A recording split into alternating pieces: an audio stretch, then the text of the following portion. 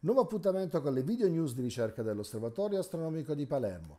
In questo appuntamento analizzeremo un po' più nel dettaglio l'ultimo studio realizzato da Antonio Tutone, ricercatore dell'Osservatorio, adesso in forza allo IASF di Palermo, e realizzato anche in collaborazione con l'Università degli Studi di Palermo. In questo articolo viene presentato un modello magnetoidrodinamico tridimensionale che ha come scopo quello di connettere le, le anisotropie delle, che sono presenti al momento dell'esplosione delle supernove con la disomogeneità del resto delle supernova che noi osserviamo oggi. Vediamo un po' di capire di cosa stiamo parlando. Le esplosioni di supernova sono degli eventi estremamente energetici che segnano la fine della vita di, di stelle molto massive. Al termine della loro evoluzione, quando queste stelle si trovano alla, nella fase di gigante rossa, all'interno di queste stelle eh, vi è una tipica struttura a gusci. Nei gusci più esterni vengono prodotti gli elementi chimici più leggeri, mentre nelle regioni più interne e nel nucleo gli elementi chimici più pesanti come il ferro e come il silicio. Queste stelle terminano l'evoluzione quindi come supernove a collasso del nucleo, degli eventi estremamente complessi, governati da una fisica molto complicata e in più anche molto rari. Si conta che nella nostra galassia, ad esempio, si avvenga a malapena un'esplosione di supernova ogni 50 anni. Quindi questo rende particolarmente complicato dal punto di vista statistico lo studio di questi fenomeni. Noi siamo costretti necessariamente a guardare fuori dalla nostra galassia e osservare l'esplosione supernova nelle altre galassie, come quella che vi mostro qui, una supernova osservata nella galassia NGC 2525 che si trova a 71 milioni di anni luce da noi.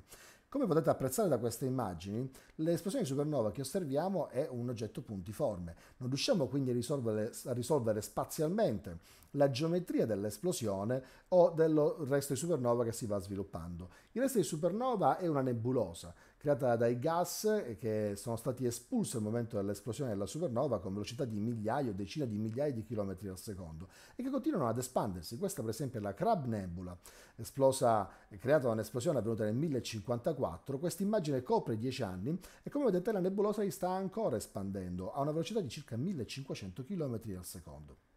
E potete anche apprezzare il fatto che la struttura geometrica di questo resto di supernova è assolutamente non omogeneo e non è simmetrico, con diverse strutture di disomogeneità che potete anche vedere per esempio in K6, un altro resto di supernova molto famoso e molto studiato.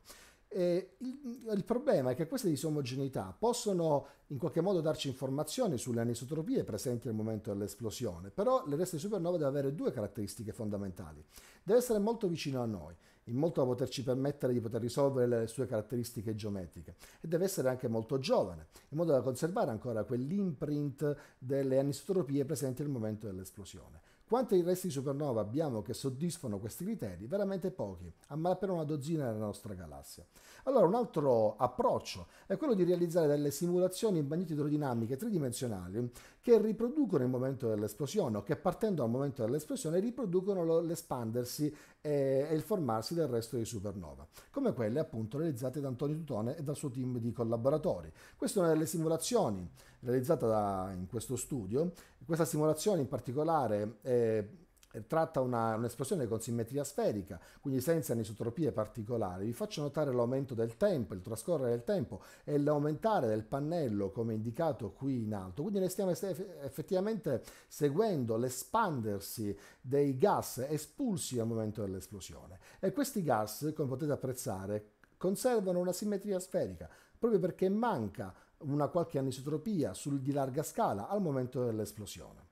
Se invece inseriamo all'interno del nostro modello delle anisotropie, come quest'altro che vi mostro adesso, ecco che la simmetria sferica si rompe e i gas che via via si vanno espandendo cominciano a presentare delle disomogeneità. Possono anche avvenire delle inversioni chimiche, in cui praticamente gli elementi più pesanti che si trovano prima nelle regioni più interne della stella esplosa vengono osservati invece nelle regioni più esterne del resto de, di supernova, proprio a causa di queste anisotropie. Questi modelli quindi sono assolutamente importanti perché riescono a connettere la struttura geometrica del resto di supernova con la fisica e i fenomeni che avvengono al momento dell'esplosione della supernova stessa.